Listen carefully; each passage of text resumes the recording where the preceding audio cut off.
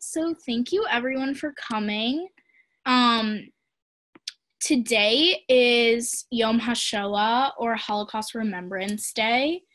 Um, and ONR decided to participate in a new initiative and task force called Zikaron Basalon, which is about learning about the Holocaust and stories of survivors from your own home, um, which is really awesome. So we're really excited to bring this to you. So before we do anything else, oh, here's Ethan. Hi, everyone. Sorry I'm late. So I have the Shoah candle, which was lit, lit in lighted last night. Um, and there's a prayer that we're supposed to say. So I'm going to say it for all of us. So, um, let me find it. Okay. Let the glory, glory of God be extolled. Let your great name be hallowed in the world whose creation you willed. May your sovereign rule soon prevail in our own day, our own lives, and the life of all of Israel, and let us say, Amen. Let your name of the holy, blessed one be glorified, exalted, and honored, although you are beyond the praises, songs, and adorations that we can utter. And let us say, Amen. For us and for the, all of Israel, and for those who perished in the Holocaust, may the blessing of peace and the promise of life come true, and let us say, Amen. Okay. Amen. So I'm going to turn it over to Ethan to explain what we're going to do next. All right, next we're going to watch a video from a Holocaust survivor who survived uh, the infamous twins experiments in Auschwitz. She's a Holocaust survivor named Eva Kor, and sadly she passed away this year. So it's really appropriate that we're watching it on the first Yom HaShoah that uh, she can't be with us. Yeah, we were unable to get a real survivor, but her story is really, really incredible. So we want to share it with all of you. Right. It's very impactful. Yeah. Um, so Rebecca's going to share her screen.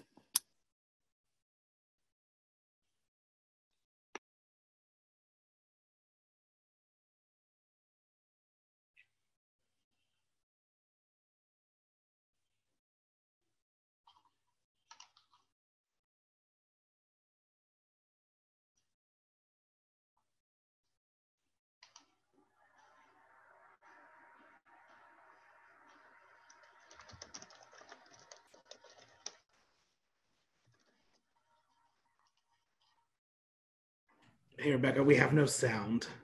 Rebecca, can you just share your audio with it as well?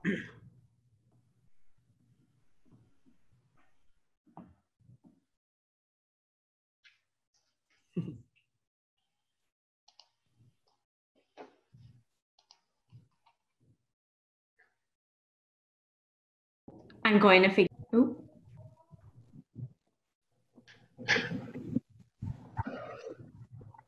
Can you share both sound and video? No, just unshare your sound and play the video. You should be fine.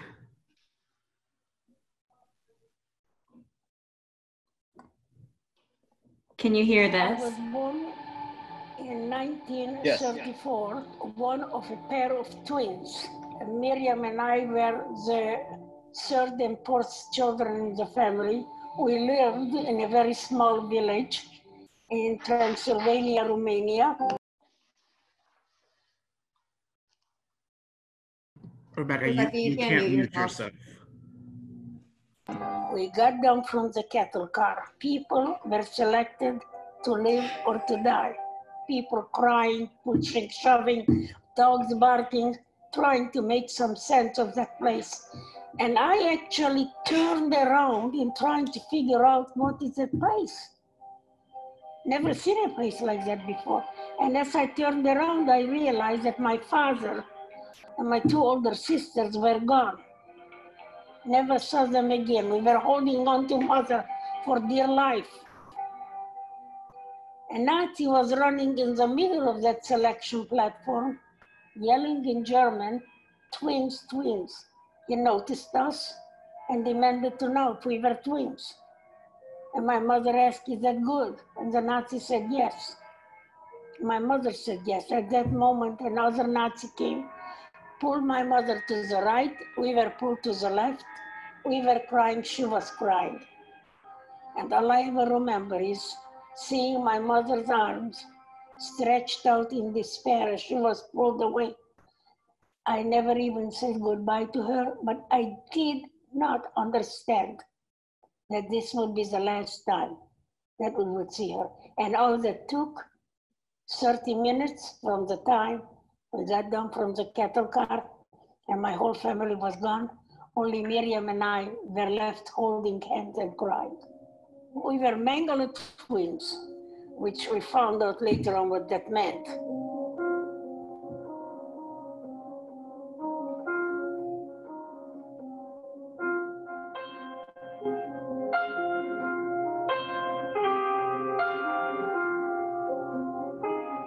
Mengele would count us every morning and he wanted to know how many guinea pigs he had this day.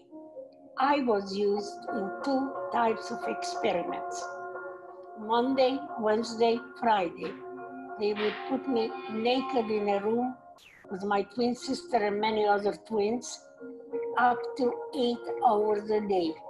They would measure every part of my body, compare it to my twin sister, and then compare it to chart. On alternate days, Tuesday, Thursday, Saturday, they would take us to a blood lab. They would tie both of my arms to restrict the blood flow, take a lot of blood from my left arm, and give me a minimum of five injections in the right arm. The content of those injections we didn't know then, nor do we know today. After one of those injections, I became very ill with a very high fever. My legs and arms were swollen and very painful. I was trembling as the August sun was burning my skin, and I had huge red spots covering my body. The next visit to the blood lab, they didn't tie my arms. Instead of that, they measured my fever. And I was immediately taken to the hospital. The hospital was another barrack, but it was filled with people who looked to me more dead than alive. Next morning, Mengele came in with four other doctors, never ever examined me, looked at my fever chart, and then he declared, too bad, she's so young. She has only two weeks to live.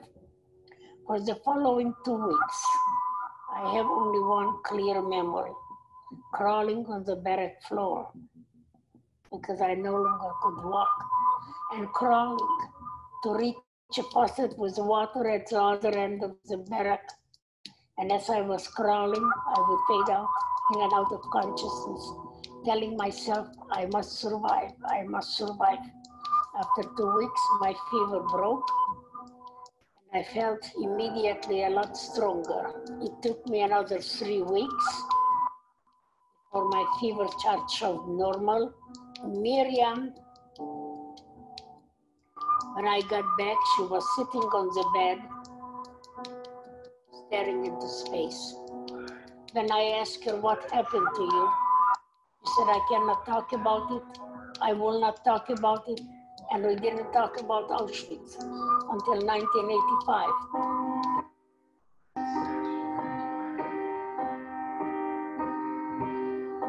And I asked her in 85, Miriam, do you remember? And I was taken to the hospital. She said, yes. I said, what happened to you while I was in the hospital? She said, I was under Nazi doctor supervision 24 hours a day. It was the same two weeks that Mengele said I would die. So I said to her, what happened to you after the two weeks were up? She said she was taken back to the labs, injected with many injections that made her feel very sick. As we found out years later, when she grew up, got married in Israel, expected her first child, she developed severe kidney infections that did not respond to any antibiotic. Second pregnancy in 63, the infection got so bad that the Israeli doctors studied her and they found out that Miriam's kidneys never grew larger than the size of a 10 year old child. So I begged Miriam that not to have any more children because every pregnancy was a life crisis. But she had a third child, and after the third child was born, her kidneys deteriorated, started to deteriorate. And by 1987, they failed, at which time I donated my left kidney. I had two kidneys and one sister, so it was an easy choice. But a year later, she asking me to find motion files. Files, we never found out what was injected into our bodies. Miriam died June 6, 1993. Months after Miriam died, I received a telephone call from a professor at Boston who said he heard me speak and he would like me to go to Boston and speak. And when I came there, it would be nice if I could bring a Nazi doctor. I was stunned at such a question. And when I thought about it, I remembered that the last project that Miriam and I worked together before she died was 1992 and was a documentary done by German television about the Mengele twins. And in that documentary, there was a Nazi doctor from Auschwitz. And I figured if he was alive in 92, he might be alive in 93. So I got his telephone number, I called him and invited him to Boston. Then he told me he was not willing to go to Boston, but he was willing to meet with me at his house in Germany.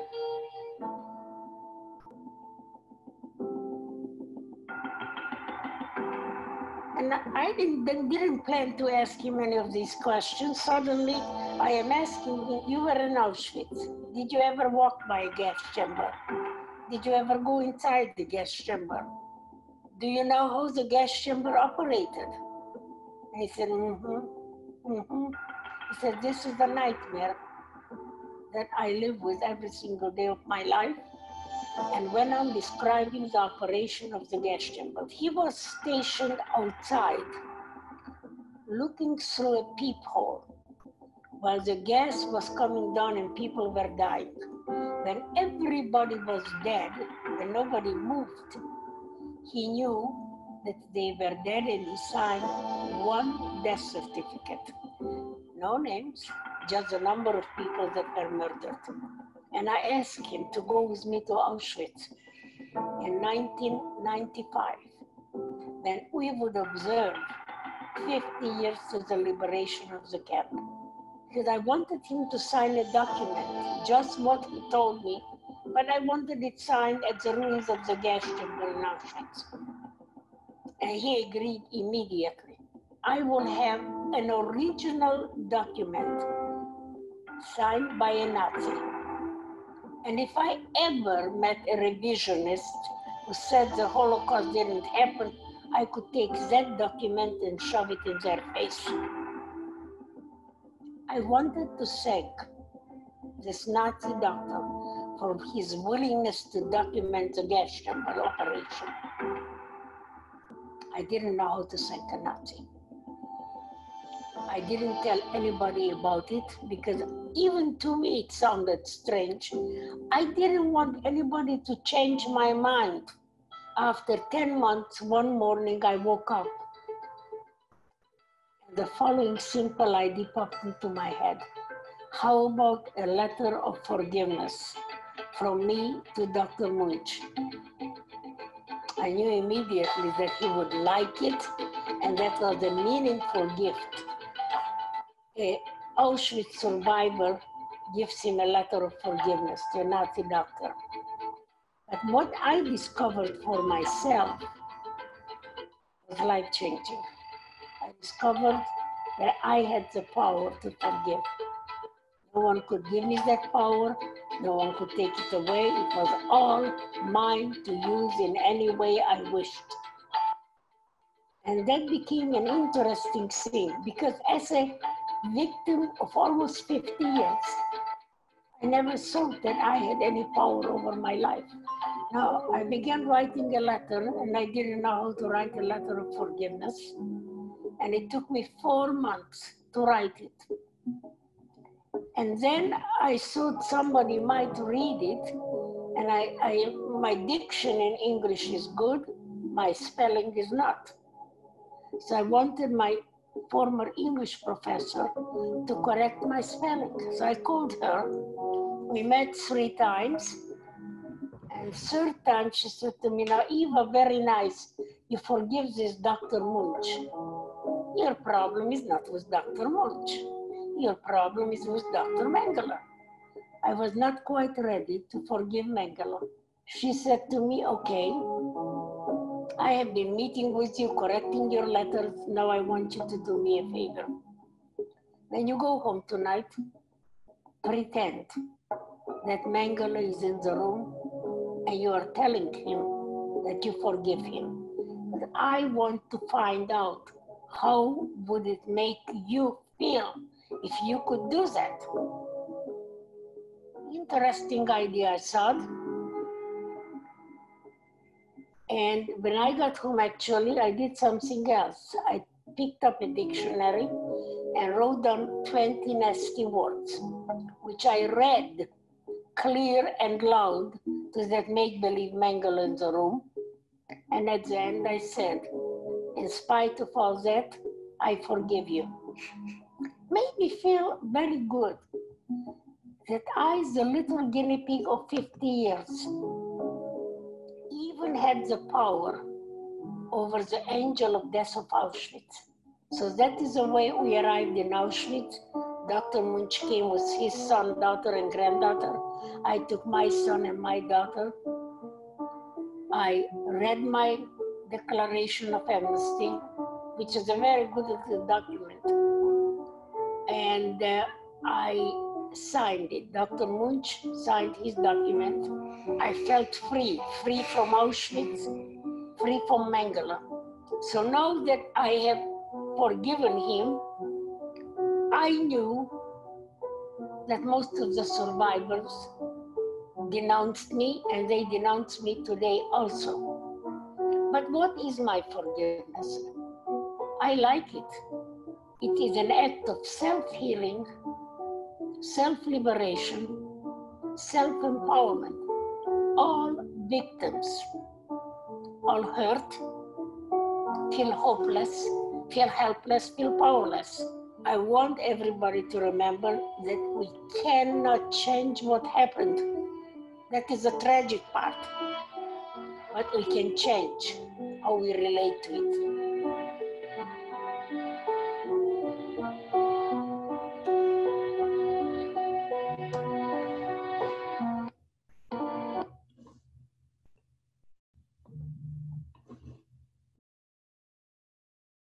Okay. So, first of all, I think her story is incredible. I think that she, in and of herself, is a very like courageous and brave woman. And after what she was able to do, after being so hurt 50 years ago and being able to forgive who hurt her, I think it's very, very powerful. So, we're going to have a little discussion about that video and about anti Semitism today. Um, and we would love you guys to participate. So, um, our first question is Seeing how brave she was, would you be able to forgive the doctors of the Holocaust if you had lived during the time? Why or why not?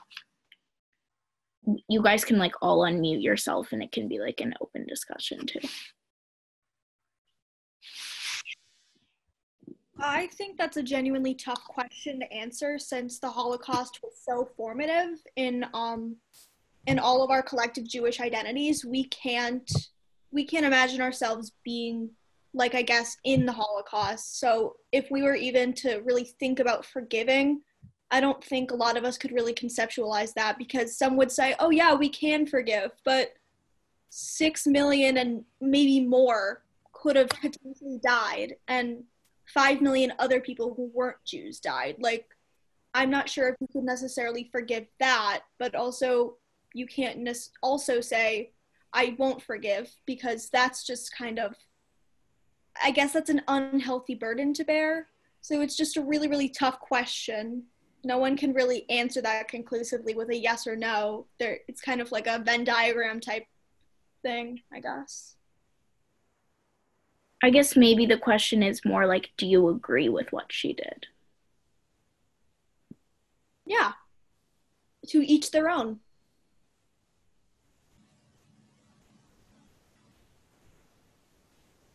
Anyone else?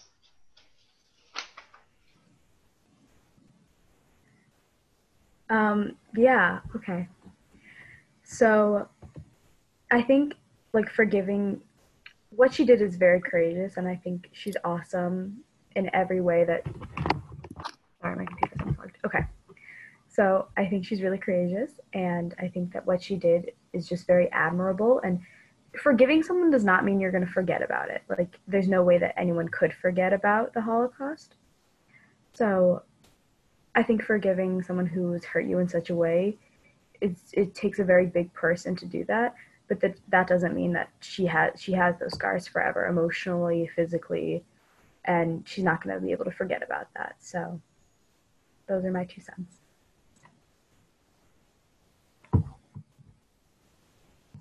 Anyone else?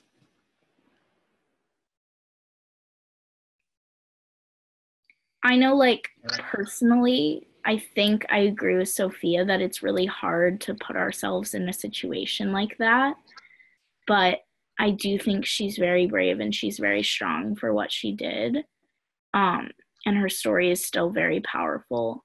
I also agree with Eliana that, like, I think sometimes people would portray her forgive it or her forgiveness as like she forgot about it but i think that you know she's always going to have that with her which is also really powerful.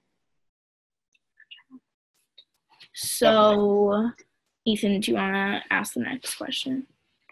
Yeah. One thing I really took away from the video is how, like, even though the, all the camps were liberated in 1945, like the health effects and the traumatic effects on the survivors really continued, like, throughout their lives till they died.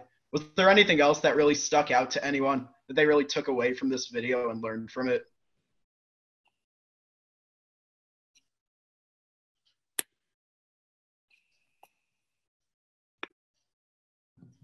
I mean, I just didn't know the extent to which, like, I don't know very much about the twins experiments. Um, I've, I've heard about them, but I didn't know, like, obviously her story is, I mean, just horrific of what happened to her, but these different things, and that, like, her twin sister, her live, like, her kidneys were still the same size, whatever they had done, like, all these weird genetic testing and everything really messed a lot of people up unfortunately that they didn't realize until later on which is like you said ethan like right we don't know the health effects and everything and the emotional effects post beyond. It's, it's wild. Well, it, it stuck out to me that um, people who deny the Holocaust, she she thought of how so many people deny um, the existence of gas chambers and stuff like that. Um, that she thought um, to draft that document and have um, the doc the doctor or what was he? He was like an operator of the uh, chambers. Uh, to have him sign that as like proof and as uh, a defense against um, a lot of people who denied are anti-Semites, so against anti-Semites and Holocaust deniers. And I think that leads into the next thing that we want to talk about. Um, there's been a lot of protesting, specifically in Ohio, um, some on Corona and how people are reacting to that. But um, this past week, outside of the State House in Columbus, um, there were people who were holding up signs that was a picture of a rat with a Jewish star. I think that, yeah, Rebecca's showing it. That said the real plague.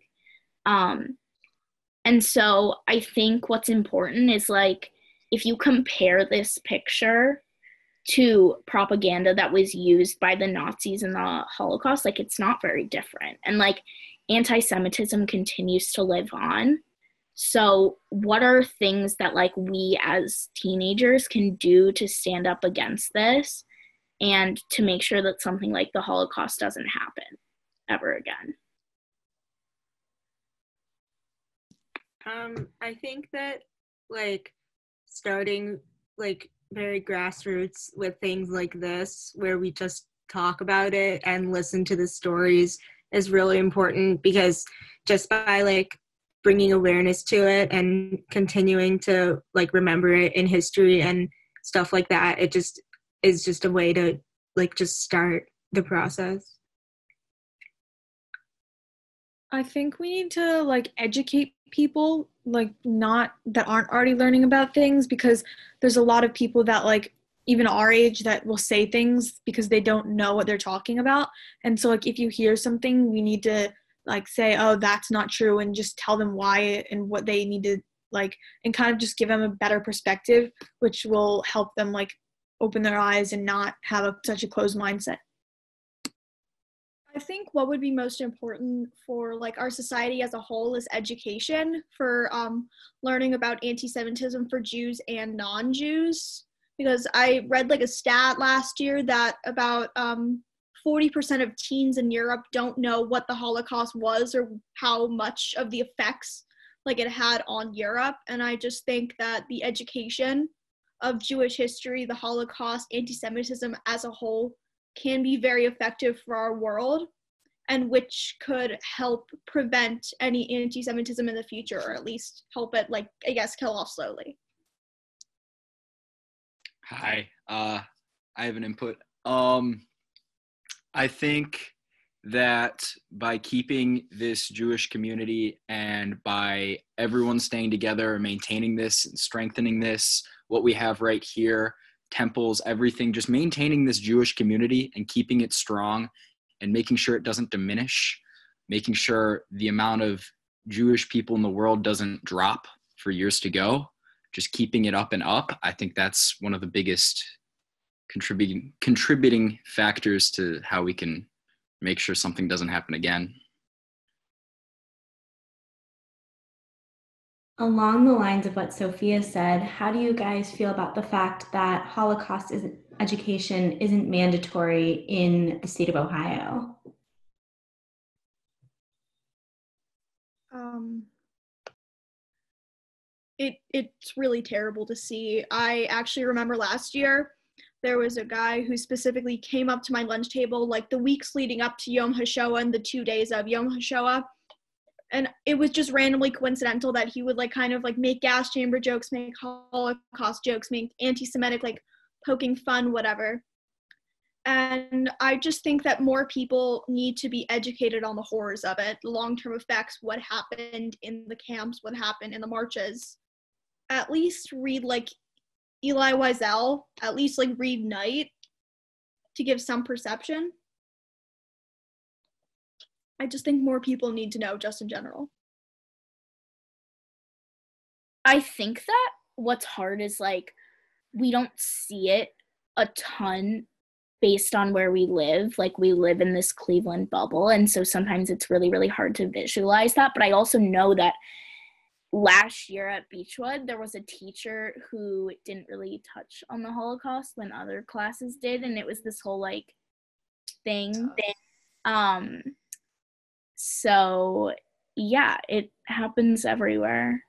And I think that that's maybe something that we as an ONR community can do to write letters to legislation and people who make legislation um, to push a bill that provides Holocaust education. Because if people aren't educated, then, I mean, it's almost not as much their fault as the state's fault that things like this are happening.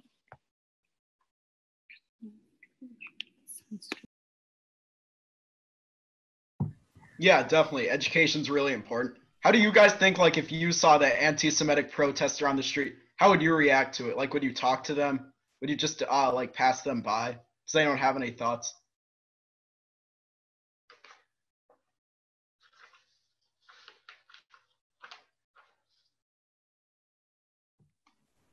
Um, okay. So personally, I don't I've never been in that type of situation, so I don't know how I'd actually respond because I feel like I'd be very, very scared and just I'd probably first like hide my necklace because I always have like a Jewish star necklace. That's probably the first thing I would automatically do is hide that just out of fear. But I don't know. In theory, I think I'd maybe try to go talk to them and be like, why are you doing this? Like, why do you feel like this is appropriate? And that it's it's hateful. It's hurting somebody and there's no reason for it. And I would try to have a calm conversation. Hopefully. just out of question, Eliana, why would you have hidden your sorry out of fear? But like, what what is that fear? I'm not saying that's right or wrong because like when I was traveling, I also hid mine in certain countries. Yeah. Because I just didn't need to have like something else come up, right? But here, like where we live in, in Columbus, if you happen to be in Columbus that day, like what would have been your reasoning for hiding that other than fear? I think just instinctively, like after the Tree of Life shooting, like I like like I was in temple and like synagogue on that day that it happened and i like grabbed my star of david necklace because i was just terrified so it's just kind of instinctive at that point i think i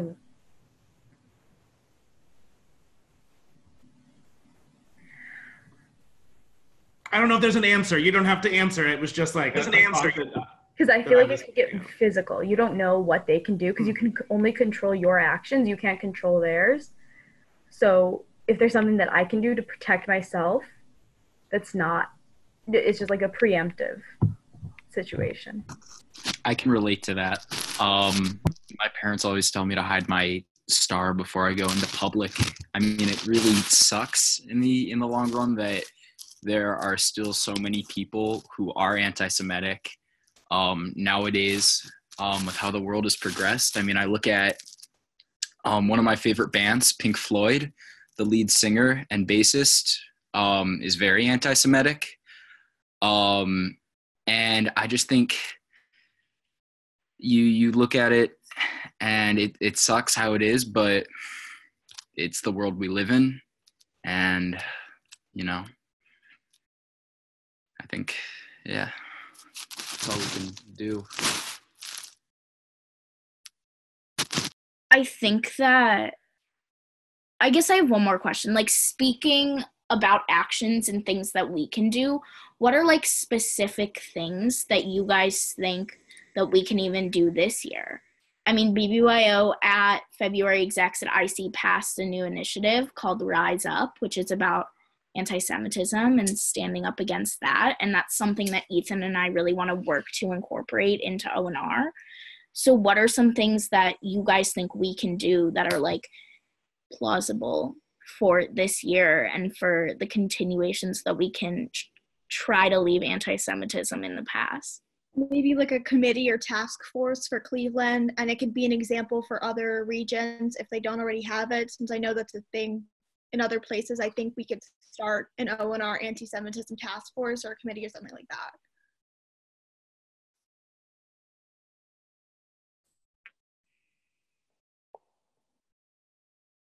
Um, just as a past convention coordinator, especially with Kala, um, when we did an anti-Semitism program, I thought that was really uh, impactful and like a a very good thing that we did. I just think that uh, a couple like a a program like that at every convention should be something that's pushed, um, especially at Kala, Maybe one or two of those could be one directed about the Holocaust specifically, so it could so we could keep the education in our region going, and uh, hopefully we could spread that out of our community as well.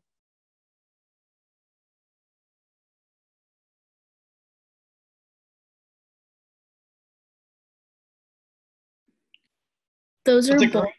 Yeah, you go. Sorry.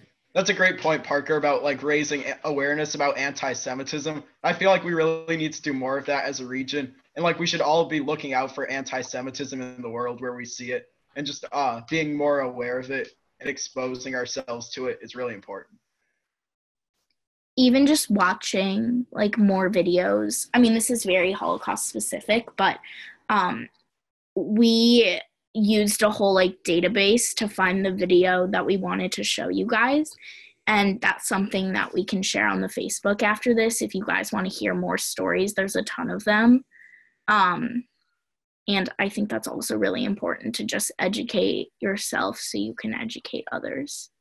Um, does anyone have any closing statements? Oh, okay.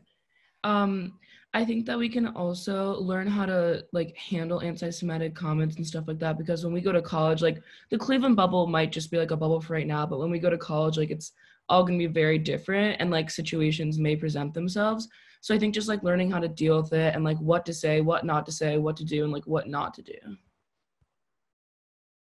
Isn't there a BBYO on demand um, thing going on with Hillel where they're like partnering with different schools and talking about that? Yeah, I think that there's a bunch of those like coming up soon. I'm sure Alana knows more about that if you want to touch on that. They're doing a lot of stuff since college tours were canceled with each Hillel. So they're like touring the Hillel at a lot of the different schools and it's all up on the website for it. But there's a bunch of different task forces that are being created. So, like Ellie already mentioned, the Rise Up Task Force is designed to create resources and work towards combating anti Semitism. Um, I have a call for it on Thursday because we're working on creating enough resources to give the found like to build a foundation for the committee to actually go off of. But stuff for that's going to be coming out soon. There's a lot of programs like Zikr in Barcelona and other opportunities that BBYO is presenting to all of you that you can choose to participate in if you so choose to. But like it's a lot of preparing and making sure that we are doing everything that we can in order to as whoever just said it, I don't remember who it was. I think Sydney just said it really well, but it's about preparing for the future. And like you all know, we live in a Cleveland bubble. Like everyone said it in here, we all know it that like if you walk around in the middle of Beechwood wearing like a tali, people aren't gonna look at you like you're that weird because it's just like Beechwood. But it's things that once we get out of Cleveland, you should be able to be educated enough on like Jewish issues and where people stand and like understanding the difference between like anti-Semitism versus like um, criticizing Israel and a lot of the very like where the line where the line is drawn situations. And I think that that's what we're working towards creating resources and task forces for to be able to educate all of you on. Um, does anyone have anything else they would like to add? I would like to add on that note that there are a ton of other um, Jewish opportunities happening on BBYO on demand beyond just Yom HaShoah commemoration. I'm going to drop a link to a little like sheet in the chat box right now, and that includes at 9 p.m. tonight the final um, kind of send off for this Yom HaShoah that is happening on BBYO on demand. It's going to be kind of an extension of things like this that have been happening throughout the day. Um, so if you want to check that out, it's going to be very impactful, and I hope you all do. And some of those other programs that are happening in the next few weeks are also going to be really special. Yeah. Um, so we want to thank you guys for coming. I think it's really important to participate in things like this, and especially on a day like this to talk about this. So, um, yeah, we hope you guys have a great night and that you'll join BBYO on demand for their closing program about Yom HaShoah. Um, and if not, that you enjoyed this and got a lot from talking about this. Um, Sydney and Adam's not in here. Sydney, upcoming programs, if there's any. Yeah, hold on, let me just pull up the schedule. Um, one second. While Sydney does that, I just want to do a big shout out to um, Ellie and Ethan for leading this program and getting it all set up. Thank you so much. It was very awesome. I think I enjoyed it, just having that conversation about anti-Semitism and like what we can do more. So thank you. Thank you. And thank you for joining us, everyone. Okay, so tomorrow is BBG's 76th anniversary. Um, Pre-Sheet has a virtual game night at 6 p.m. Then Thursday we don't have any programs, but you can go to BBYO on demand because there's lots of other programs. Oh, and there's also I'm pretty sure a BBG Founders Day birthday party tomorrow night on BBYO on demand. I think I've seen that somewhere. 5 p.m. Um, ladies and gents, 5 p.m. 5 p.m. Um, then Friday. So, um, we there's we have nothing particularly scheduled, so it's just BBYO on demand. Then Saturday is Exodus Green and Black Night. Am I missing? Are we doing BBG Happy Hour on Friday? Not happy hour, just BBG Founders Day ONR party. It, I think. Amelia, do you want to talk about that? Or no, Amelia does not want to talk right now. Okay, it's from five to six on this Friday. It's going to be open to all ONR BBGs, and if you want to invite any of your international BBG friends, they can hop on. It'll be really fun. We're gonna be doing really cute BBG things. So yeah, I'm excited. Amelia, Amelia's excited too. I can speak for her. Amelia's very excited. And then Sunday, we don't have any programming plans, so you can just go to BBYO on demand, and there's lots of programming there. So yeah. Amazing. Thank you all for joining us, and we hope you have a great rest of your night and that you enjoyed this. Um, bye, guys. Bye, everyone. Thank you for joining us.